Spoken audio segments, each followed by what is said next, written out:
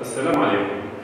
أعزائي التلاميذ في إطار متابعة دروس التعليم عن بعد مادة الطبيعة الشيئية أو عنوان درسنا اليوم هو الألوان الأساسية والألوان الثانوية أو ما يسمى بدائرة الألوان خاص بمستوى الخمس الابتدائي المرحلة الأولى.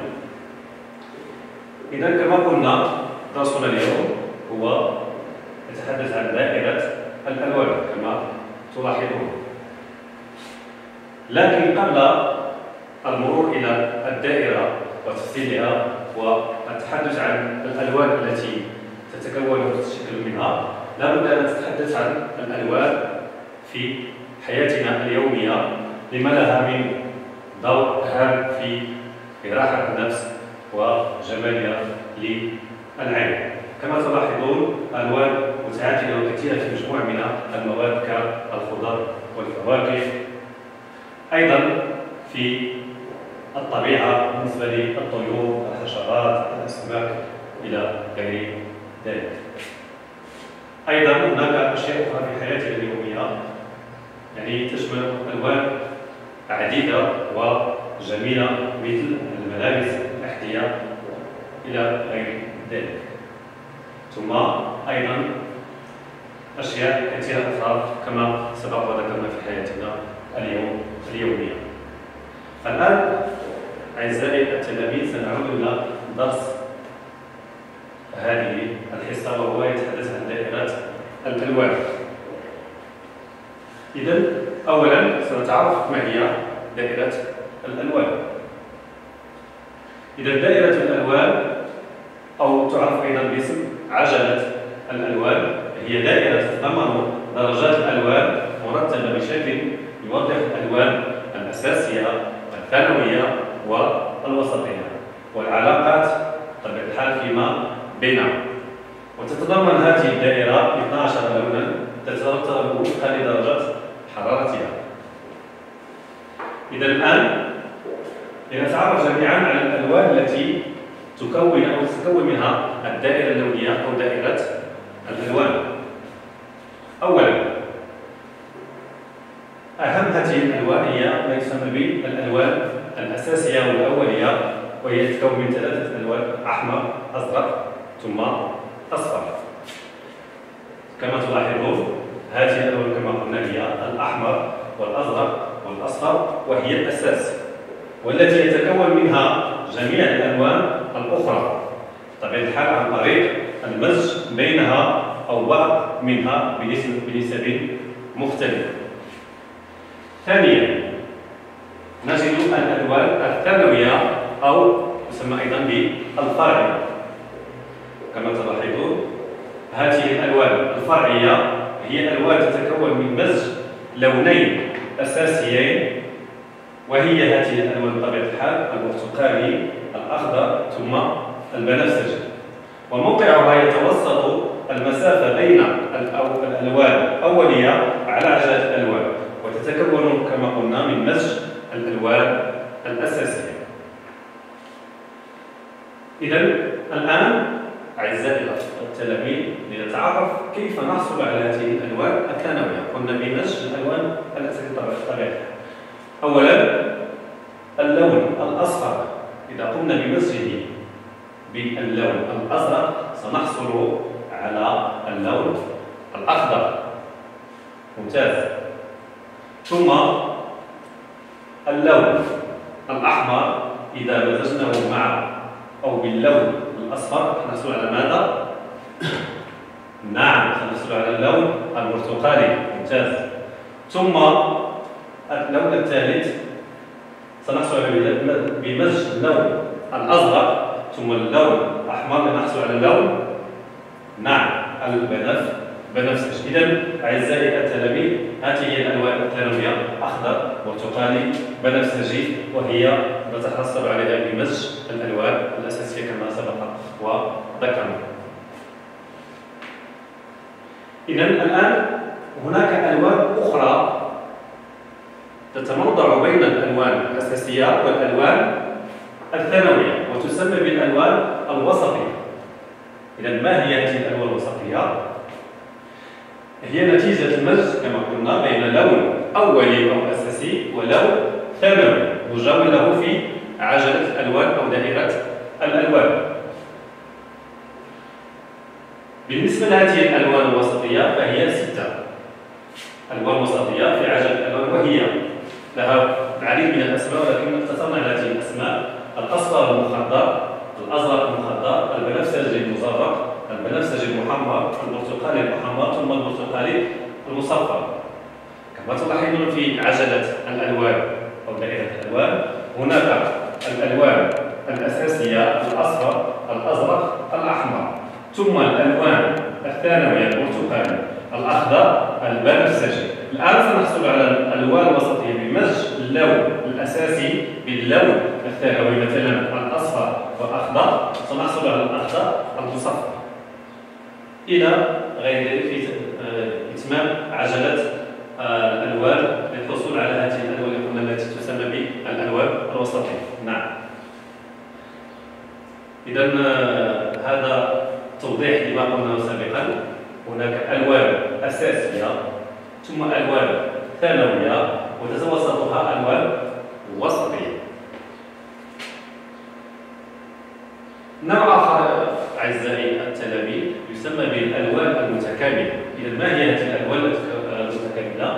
هي الألوان الثانوية المقابلة للألوان الأساسية في الدائرة اللونية مثلا اللون الأصفر فهو أساسي. يقابله اللون البنفسجي الثانوي الأزرق مثلا وهو لون أساسي بطبيعة الحال يقابله لون ثانوي وهو البرتقالي ثم اللون الأحمر لون أساسي يقابله لون ثانوي وهو الأخضر. إذا هذه صورة موضحة كما قلنا البرتقالي يقابله الأزرق الأصفر يقابله البنفسجي ثم الأحمر يقابله الأخضر. آه، نوع آخر أعزائي التلاميذ هي ألوان. نقسم الدائرة إلى قسمين. لنحصل على ألوان دافئة وألوان باردة. كما تلاحظون عند تقسيم دائرة الألوان عجلة الألوان إلى قسمين هناك جزء يسمى بالألوان الدافئة وجزء آخر ألوان باردة إذا آه، عملية تقسيم الدائرة سنحصل على هذا أو هذين الجزئين ألوان دافئة وألوان باردة والألوان الدافئة تتكون من أصفر برتقالي أحمر ألوان باردة أخضر أزرق. بنفسجي بالإضافة إلى الألوان الوسطية التي تتوسط هذه الألوان. نعم. إذا خلاصة القول بالنسبة ما يخص دائرة الألوان كما تلاحظون هذه تسمى بعجلة الألوان أو دائرة الألوان. تتكون من الألوان التي سبق وذكرناها ألوان أساسية أصفر أحمر أزرق. ألوان ثانوية أخضر. برتقالي. بنفسجي ثم الألوان الوسطية التي تتوسط الألوان الأساسية والألوان الأولية. ثم الألوان الحارة والدافئة والألوان الباردة أعزائي التلاميذ سنمر إلى تمرين. يعني يجسد ما سبق وذكرنا. لاحظوا معي هناك من التشكيلات أو من اللوحات يعني مرسومة سابقا إما من تلاميذ أو أشخاص أو. ما المطلوب منكم هو تلوين هذه اللوحة أو هذه آه هذا الرسم بألوان أولية وألوان ثانوية. وسنحاول يعني أن نضع اللون المناسب يتوسط الألوان إما لون ثانوي ولون أساسي سنضع اللون الذي يتوسطه يعني اللون المناسب أو لون أساسي مع لون أساسي نضع اللون الذي يتوسطه بطبيعة الحال يكون لون ثانوي إلى غير ذلك. نعم. ثم تمرين آخر أو نشاط آخر وهو نشاط حر. إذا باستعمال المسطرة والبكار ستقوم عزيزي التلميذ بإبداع شكل فيه تركيبات تشكيلية حرة موظفة الألوان الأولية والألوان الثانوية طبيعة الحال بتقنية الصباغة المائية. وبعد قليل سنوضح كيف نشتغل بالصبغة البهية وكيف نرسم دائرة الألوان وتلوينها. هذه بعض النماذج لتركيبات تشكيلية. نعم. لاحظوا معي أيضا أعزائي التلاميذ. هذه لوحة تبين ما بها من أشكال وخطوط وألوان وهي خاصة بالفنان الفرنسي روبير دونوني. إلى من هذا نوع من التشكيل به ألوان مختلفة ومتناسقة بها ألوان أساسية ثانوية ووسطية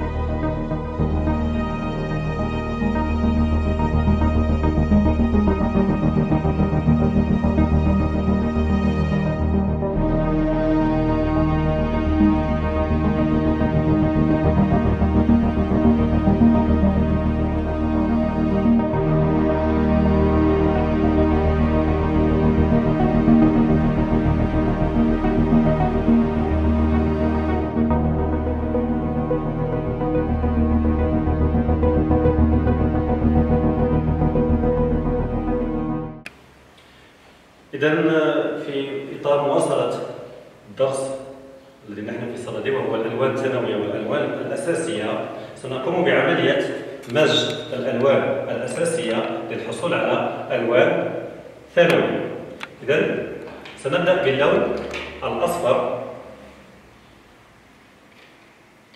نأخذ كمية من اللون الأصفر كما تلاحظون.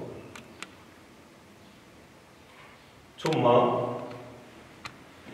نأخذ اللون الأزرق بنفس الكمية بطبيعة الحال. بنفس الكمية وسنلاحظ ما هو اللون الذي سنتحصل عليه؟ إذا لاحظوا معي أصدقائي التلاميذ إذا اللون الأزرق مع اللون الأصفر. عند مزجهما عفوا كما تلاحظون. إذا سنتحصل على اللون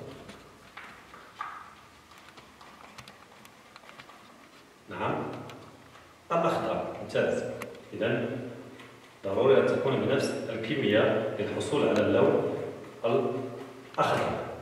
فقط يجب مزجه بعناية يعني حتى نتحصل على هذا اللون الأخضر. ثم نفس اللون الأصفر سنقوم بمزجه مع لون أساسي آخر وهو اللون الأحمر. لنتحصل على لون ثانوي. نفس الكمية لاحظوا معي إذا عند مزج هذه أو هذين اللونين عفوا. سنتحصل على اللون يحتاج المزج قليلا. إذا كما تلاحظون بالحكمة نحصل على اللون البرتقالي. نعم. فقط نستمر في المزج إلى أن نحصل على اللون البرتقالي. ثالث مزج وهو مزج اللونين الأساسيين الأزرق والأحمر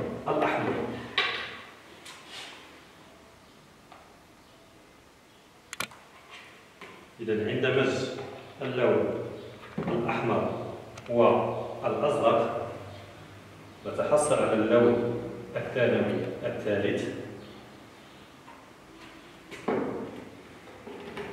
إذا كما ستلاحظون.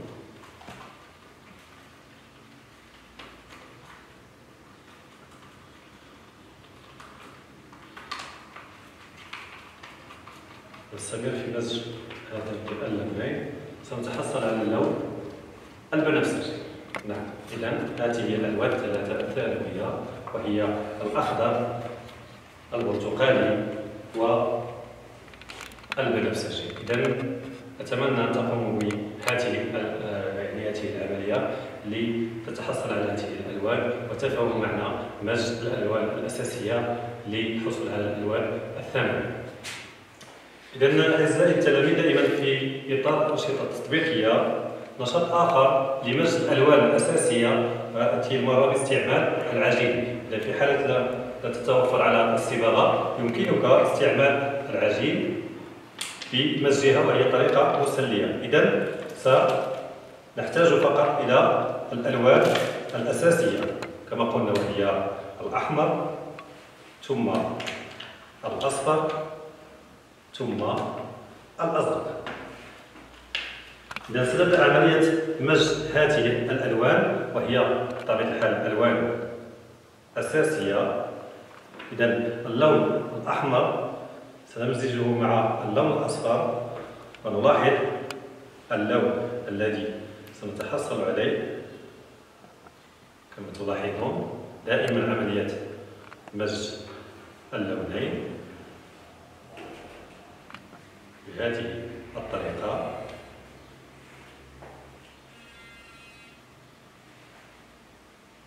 كما تلاحظون هذا لون نعم برتقالي لون برتقالي. ثم نقوم بمزج اللون الأساسي الأصفر مع اللون الأساسي الآخر وهو الأزرق. دائما نفس عملية المزج وقلنا نأخذ نفس الكمية من العجين أو من الصباغة ونقوم بمزجها قلنا نفس الكمية حتى نتحصل على اللون الذي نريده وهو لون ثانوي وكما تلاحظون فهو يتشكل الآن فهو اللون عام الأخضر جيد. إذا اللون الأخضر اللون الثالث أصدقائي وهو مزج. اللون الأزرق مع اللون الأحمر. دائما عملية المزج. لنتحصل على اللون الثانوي الثالث. إذا نفس الكمية. إذا هذا اللون الثالث هو نعم أصدقائي اللون البنفسجي إذا فقط نحتاج إلى مزج بطريقة متواصلة حتى نتحصل على اللون البنفسجي وهكذا أصدقائي نختم هذا الدرس درس الألوان الأساسية واللون الثانوية. كما قلنا اللون الأساسية أحمر أصفر. أزرق للحصول على ألوان ثانوية وهي البرتقالي الأخضر البنفسجي والتي تشكل لنا دائرة الألوان بالإضافة إلى الألوان الوسطية.